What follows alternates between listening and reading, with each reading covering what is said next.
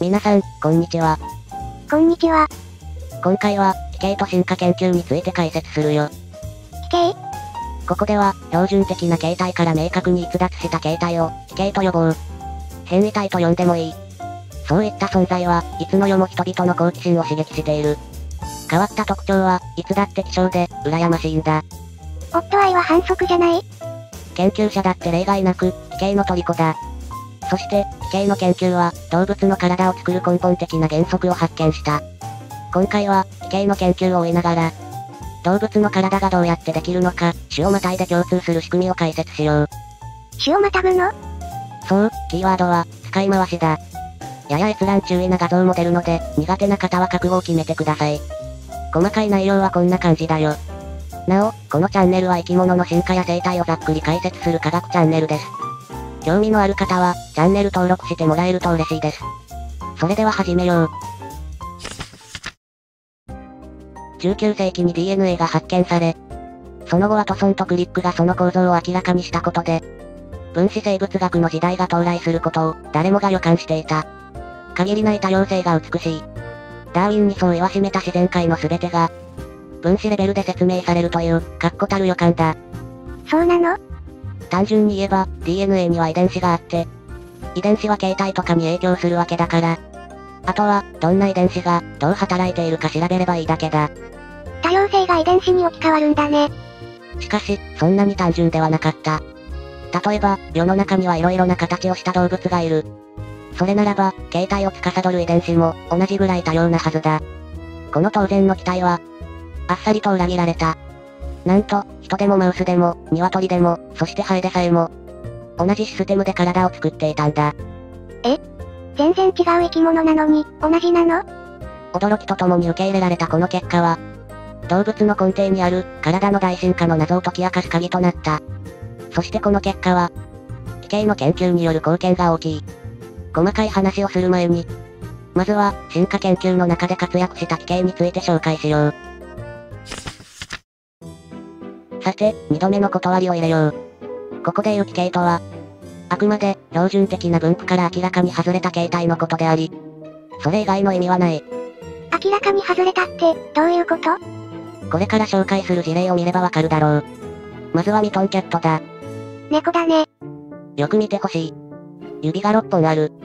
あ、ほんとだ。いわゆる達章だ。6本指の猫は、船乗りからは縁起物扱いされたようだ。揺れる戦場では、指が多いことで安定性が増し、ネズミ捕りで活躍してくれると考えられたんだ。合理的な縁起物だね。作家のアーネスト・ヘミングウェイは知り合いの船長から譲ってもらい、ミトンキャットは今もヘミングウェイの邸宅で暮らしているそうだ。人よりいいもの食べてそう。達章は猫に限らない。豊臣秀吉も6本指だったという噂だし、インドには手足に合計31本の指がある人もいる。他にも、実験の過程で偶然達章が生まれることもある。幅広な手を持つ6本指のマウスは、サスカッチ変異体と呼ばれている。サスカッチって、ビッグフットのことだね。数の違いで言うと、逆に少ない奇形も知られている。単眼症は、目が2つあると期待されるのに、1つだけの症状だ。例えば南アメリカアイダホ州では、10年にわたり、相次いで1つ目の羊が生まれることがあった。マジか。後でまた説明するけど、バイケイソウという植物が持つ化学物質が関係しているようだ。もっと本筋によった奇形も紹介しよう。最近は高校生物でも出てくるらしい、胸部を2つ持つ奇形。バイソラックスだ。うんハエが2匹重なってない？いや、違う。左上が通常の、右下が胸部を2つ持つ変異体なんだ。胸部からは羽が生えるから、羽も憎み持つことになる。他にも、症状梅には有名な奇形がいる。触覚から足が生えてきた変異体。アンテナペディアだ。わかりやすくやばい。こういった奇形はなぜ生まれるのか。学術的にモンスターと呼ばれた彼らは、研究者たちにとって格好の研究対象だ。なんで奇形の原因を調べることで、その器官を作る仕組みを特定できるからだ。モンスターは何が違うのか。そして、モンスターを作り出すことができるのか。体ができる仕組みを見ていこう。さて、過去動画では、体がどうやってできるのか。そしてその進化について解説したね。左右対称がどうってやつ？そう、体の前後や背腹は、おおよその動物に共通する仕組みがあった。受精卵が成長し、早い段階で、前後や配服が決まる。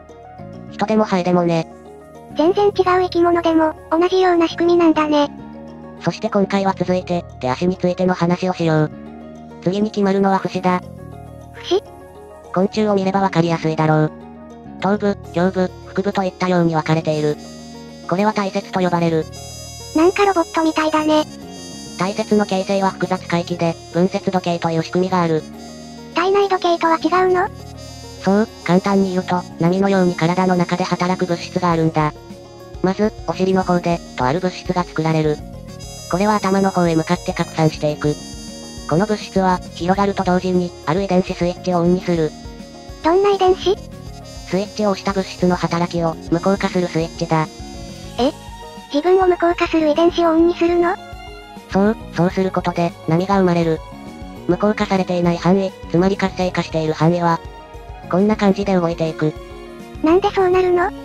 無効化遺伝子が働き始めるまでに、タイムラグがあるからだ。後から広がってきた物質は、遅れて働き始めた無効化遺伝子に無効化されるんだ。一部だけ、後から前に移動するように見えるんだね。さらに、この動きは繰り返される。繰り返しってどういうこと？自分を無効化するスイッチを押し続けていた存在がいなくなったら、それはもはや、誰もスイッチを押してない状態だ。スイッチを押してること自体も無効化されるの？そういう感じだ。おとなしくなってただけで、いなくなったわけじゃないからね。だから、時間を置いて、また波が来る。こうして、お尻から頭側へ、活性化している範囲が振動する。すごい、勝手に波ができるんだね。節ができるためには、さらにもう一つの要素が必要だ。お尻と頭からは、また別の物質が反対側に向かって拡散される。これらの体の中での濃さは、こんな感じで保たれる。反対に行くほど薄くなっていくね。こっちは、波のように振動しない。いつも一定だ。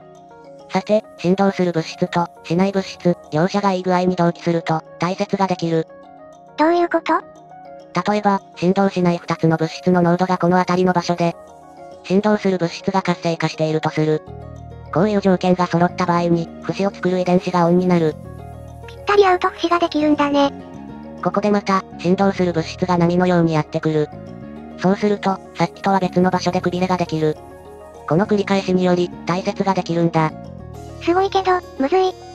要するに、周期性を持ってくびれを作る仕組みがあるということだ。この仕組みは、分節時計と呼ばれる。専門的な用語で言えば、振動にはノッチデルタシグナルが関わる。すっごい複雑だね。なお、大切が一つできるのに、人は5時間、マウスは2時間。鶏は90分、ゼブラフィッシュは30分という周期らしい。安出みたいに大切だらけの生き物も、そうやってできるようだ。こうした時空間を制御する分節時計の全容は、今も研究途上の興味深い分野だ。でも、なんで大切の話をしたの？それはもちろん、手足は大切から生えているからだ。そして、どの大切から何が生えてくるかが、奇形の研究と繋がってくる。さて、ようやく大切ができた。大枠が決まったことで、次は、そこから生える付属子が成長する。そして何が生えてくるかは、ホメオティック遺伝子に管理されている。また難しそうなこと言い出した。ざっくり言えば、手足とか触覚とか、形態作りに関係する遺伝子の総称だよ。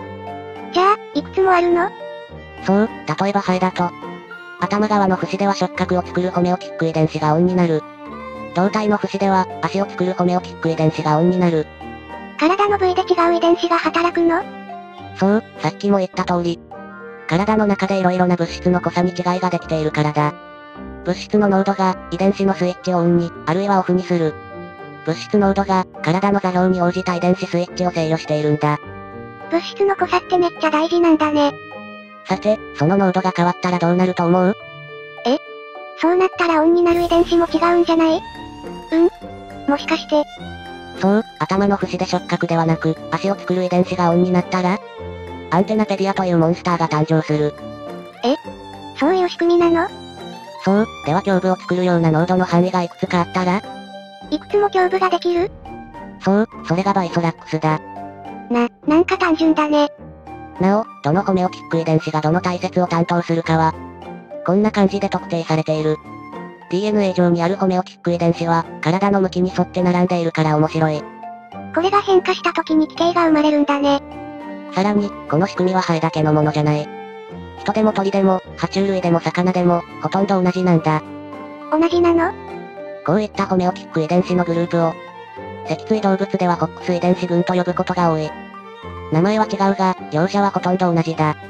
どのくらい似ているかというと、ハエとマウスでここの遺伝子を交換しても、ちゃんと成長するぐらいだ。交換しても大丈夫なんだ。ハエと哺乳類は、およそ5億7000万年前に共通祖先を持っていたと考えられている。つまり、その時からこの仕組みで体を作っていたことを示唆している。大昔から変わってないんだね。ちなみに、指の数にもホックス遺伝子群が関わる。手足の形成で有名なのは、ソニックヘッジホックという遺伝子だ。何それ？とある遺伝子を失ったハエの肺は、トゲのようなもので覆われたモンスターになる。このことから、その遺伝子はヘッジホックと命名された。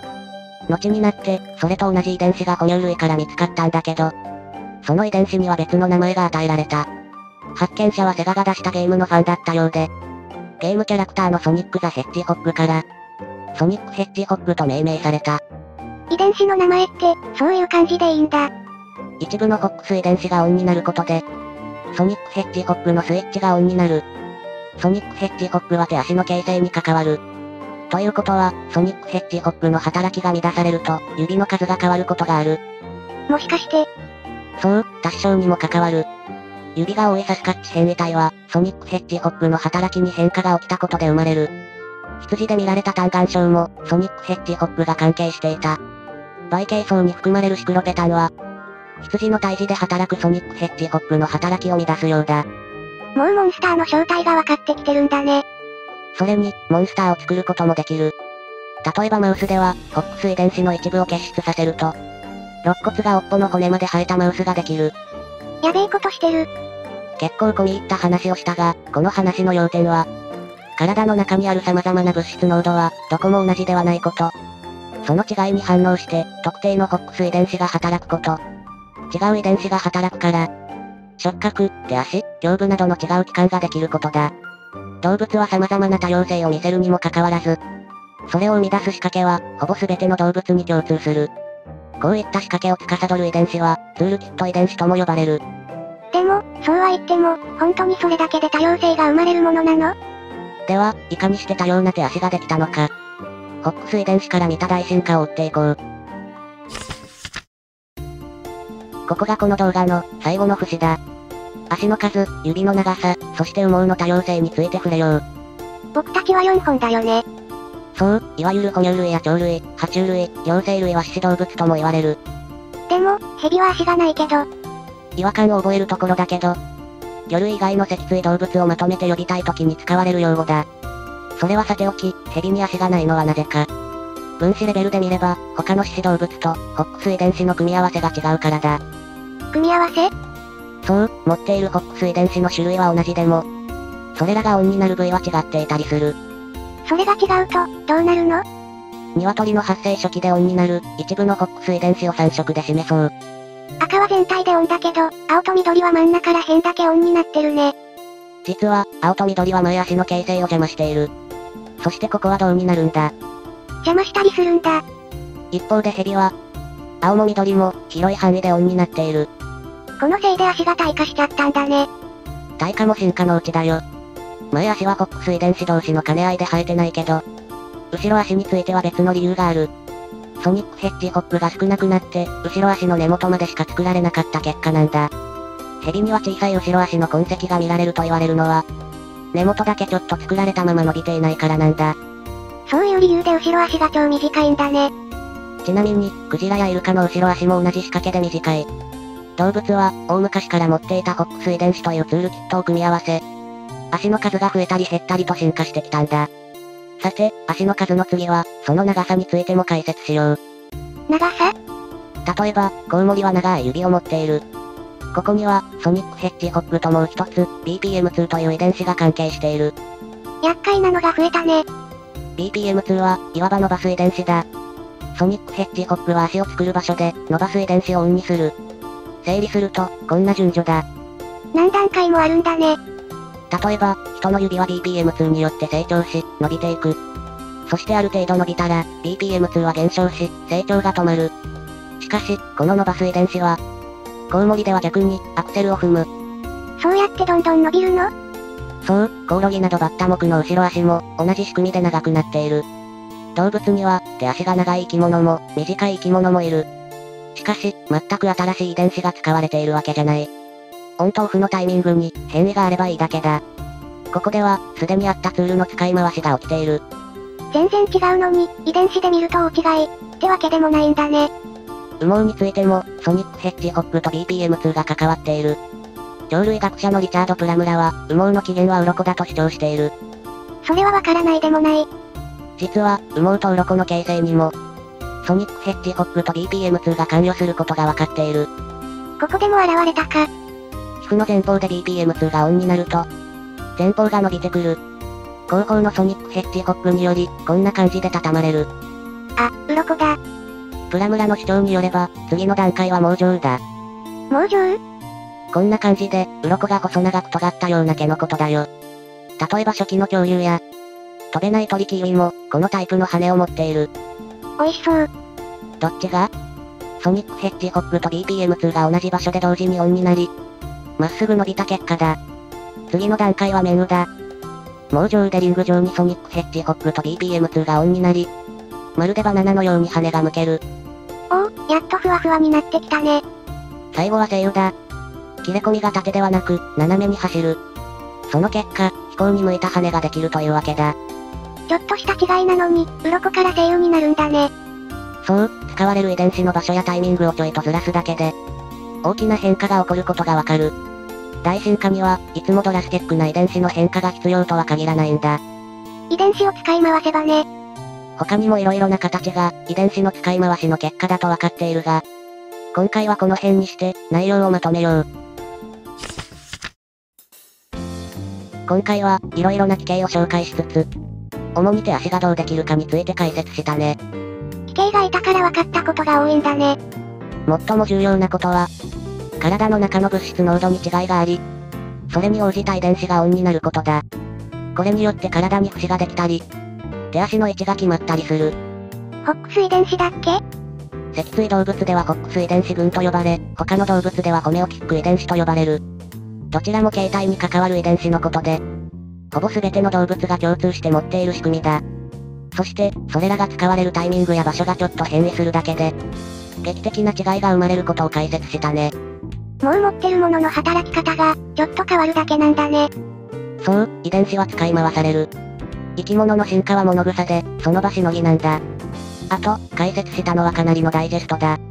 実際は数千数万以上の物質が網目のようにオンオフし合っている。しかも、体の部位ごとに働き方が変わったりする。複雑すぎて、まだまだ未解明の部分が多いんだ。